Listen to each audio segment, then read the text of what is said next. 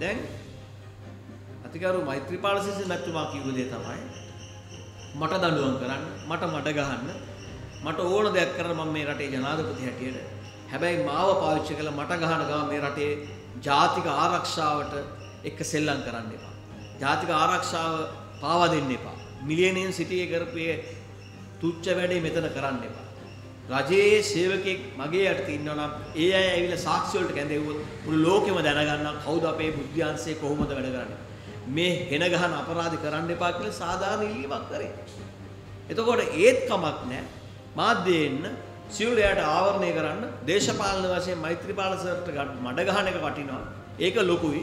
රටේ ජාතික ආරක්ෂාවට වඩා කියන ස්ථාවරය තමයි අපිට පේන්නේ කතානායකතුමා ඉන්නවා කියන්නේ. ඉතින් කතානායකතුමාට දේශපාලන ඉලක්කය සඳහා යන එක පේන්නේ නැත්තම් අපි ඉල්ලීම කරන්නේ අද ඊයේ රැස් වෙන්න තිබිච්ච කැබිනට් මණ්ඩලය රැස් වෙන්නේ. ඒතර මේ රට ගමන් කරන්න පුළුවන්. මෙතන පෞද්ගලික දේශපාලන සහ න්‍යායපත්‍රයන් පැත්තක තියලා කතානායක සහ රජය විශේෂයෙන්ම අග්‍රාමාත්‍යතුමාත් කල්පනා කරන්න ඕනේ ආරක්ෂාවට තර්ජනයක් වෙනවා නම් මාධ්‍යයට විරුද්ධ කිරීමෙන් සාක්ෂිකරුවන්ට විරුද්ධ කිරීම එය වළක්වලා අපි කියන්නේ දැන් කොමිටියක් පත් කරලා තියෙනවා. ඒ කොමිටියට එකඟ වෙන්නේ නැහැ විපක්ෂි කවුරුත්. ඒ කොමිටියේ වැඩ ස්වාධීනව කරගෙන යාම මරණ ප්‍රශ්නයක් නැහැ. නමුත් මේ සාක්ෂිකරුවන් දෙන සාක්ෂි පාවිච්චි කිරීමෙන් දේශපාලනය කිරීමේ උත්සාහය නිසා මේ රටට වෙන හානිය මේක හොඳ පූර්වාදර්ශයක් නෙවෙයි. මේ වැඩේ හෙටත් කරන්න පුළුවන් වෙන විදියකට කරන්න පුළුවන් වෙන කරුණක් මත කරන්න පුළුවන්. අපේ රටේ සම්පූර්ණ සමස්ත ආරක්ෂාව මේ ප්‍රශ්නේ නිසා පාර්ලිමේන්තුවේ පාවිච්චි කරමින් කතානායකතුමා දැනුවත් එතුමා බොහොම පැහැදිලිවම මේ ප්‍රශ්නය යන්න දීලා ජනාධිපතිතුමාට මඩ ගැහිීමේට අවශ්‍යතාවය ක්‍රියාත්මක වෙනවා.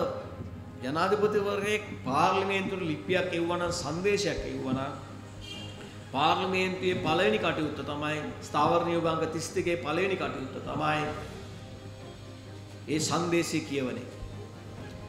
මෛත්‍රීපාල සිසිල මැතිතුමා මේ සංදේශයක් එවලා තියෙනවා ලිපියක් එවලා තියෙනවා කතානායකතුමා කතානායක මේක මං හිතනවා මේක කාරක සභා ප්‍රශ්නයක් මම මේක කියවන්න දෙන්නේ එහෙම රටේ විධායක ජනාධිපතිතුමාගේ ලිපියක් කියවන්න බෑ කියලා තීන්දුවක් ගැනීමේ අවසරයක් කතානායකවරයාට නැහැ. කතානායක පාර්ලිමේන්තුවේ රටේ විධායක ජනාධිපති කවුරු හෝ ඒවා ජනාධිපතිවරයෙක් ලියුමක් කියවනවා නම් ඒ පළවෙනි අංකය තමයි අපේ තියෙන න්‍යායපත්‍රයේ ප්‍රකාරය. පාර්ලිමේන්තුවේ අපේ තියෙන ස්ථාවර නියෝග අනුව පළවෙනි අංකය තමයි ජනාධිපතිතුමාගේ ලිපි සංදේශ කියවීම. ඒතර කතානායකතුමා පළවෙනියට ඒක මගහැරලා අතහැරලා ඒක පැත්තකට දාලා. ඒක එතුමා තීන්දුවක් අරන් තිනවා මාට හිතනවා මේක වැදගත් නැහැ කියලා. ඊළඟට එතුමාගේ මතවාදයේ මන්ත්‍රීවරුන් දන්නේ නැහැ. ජනාධිපතිතුමාගේ අදහස දන්නේ නැහැ. ඒ අපිට දැනගන්න අවස්ථාවක් නැති කරලා තියෙනවා. අපිට තියෙන අයිතිය. රටේ විධායකයෙ විසින් ලියුමක් ලියනවා නම් පාර්ලිමේන්තුවට 22කම දැනගන්න. 225ම දැනන් ඉන්න ඒක නැති කරලා. ඒතර අපිට ඒක පදනම් කරගුවම ඒ ලියුමේ තියෙනවා නීතිපතිවරයා කියනවා උසාවියේ සුප්‍රීම උසාවියේ නඩු පහක් තියෙනවා. ඒ නඩු පහට සාක්ෂි කැඳවන්න කැඳවන්න ඕන. ඒ සාක්ෂි ඉදිරිපත් කරන නඩු පහටම බලපානවා මේක දැන් සාකච්ඡා කරමු. කරුණාකරලා මේ සුප්‍රීම උසාවියේ නඩු පහ තියෙන නිසා මේක කත්තක් මේ පත් කරලා තියෙන කමුටුවෙන් විශාල හානියක් වෙනවා කියලා නීතිපතිවරයා ලිඛිතව දැනුවත් කළා. ඒ ලියුමේ පිටපතකුත් කතානායකට ජනාධිපතිතුමා එවලා තියෙනවා. එහෙම තත්ත්වයක් උඩ නැතුව මේ මේ පරීක්ෂණයෙන් ඇවිල්ලා එන මඩ පිළිබඳව ගහන දේවල් පිළිබඳව මේ ලිපි වල පිළිබඳව හිටපු ආරක්ෂක ලේකම් පිළිබඳව පොලිස්පතිතුමා කියන දේවල් ගැන අපිට කිසි කෙනෙක්ට ඒව ගැන ප්‍රශ්නයක් නැහැ. ඒවා මඩ කියලා මුළු රටම දන්නවා. මුළු රටම දන්නවා.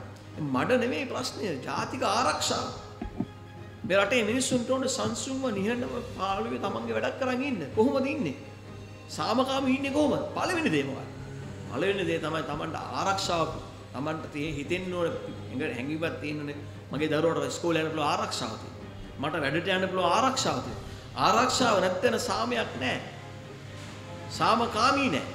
ඉතින් මේ මේ මූලික සිද්ධාන්තයනේ මේ එක්සත් ජාතික පක්ෂය එකතු වෙලා කමුටුවක් පත් කරගෙන මේ මඩ දමාගෙන මඩ ගහගෙන ලොකු දෙයක් කරනවා කියලා සජීව දීගෙන මේ කරන්නේ. මේක හොඳද? මේක අපි හෙලා දාන්න.